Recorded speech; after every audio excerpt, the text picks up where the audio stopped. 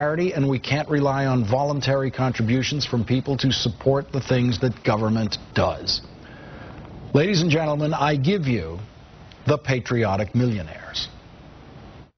President Kennedy said, ask not what your country can do for you, ask what you can do for your country. To our elected leaders, we say, it is time to ask us, America's most fortunate citizens, to do what we can do for our country.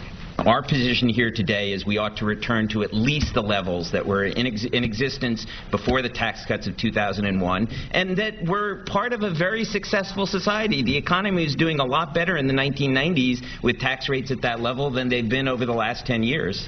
This week, the super committee has a job to do. We will ask them to do something that will affect us and our fellow 0.01 percenters about as much as a dead fly interrupts a picnic.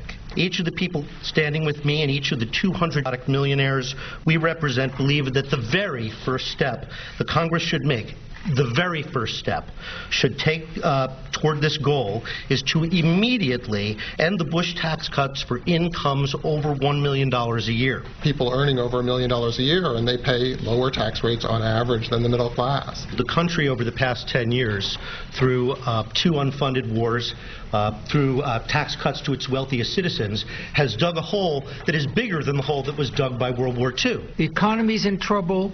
National debt is in trouble. We don't have the jobs we need to sustain the economy. We have actually undermined the employment gains our economy made in the private sector by firing thousands of workers in the public sector.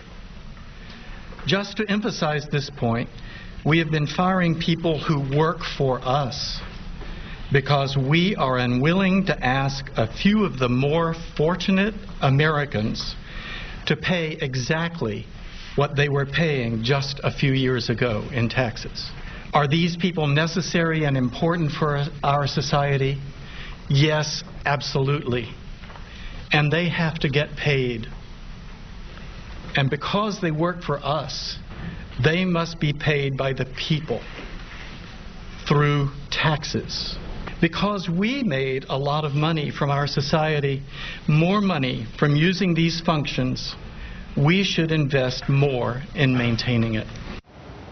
We here at The Last Word are happy to provide equal time to any of America's greedy millionaires who would like to come here and explain why they just can't afford to pay one more dollar in taxes.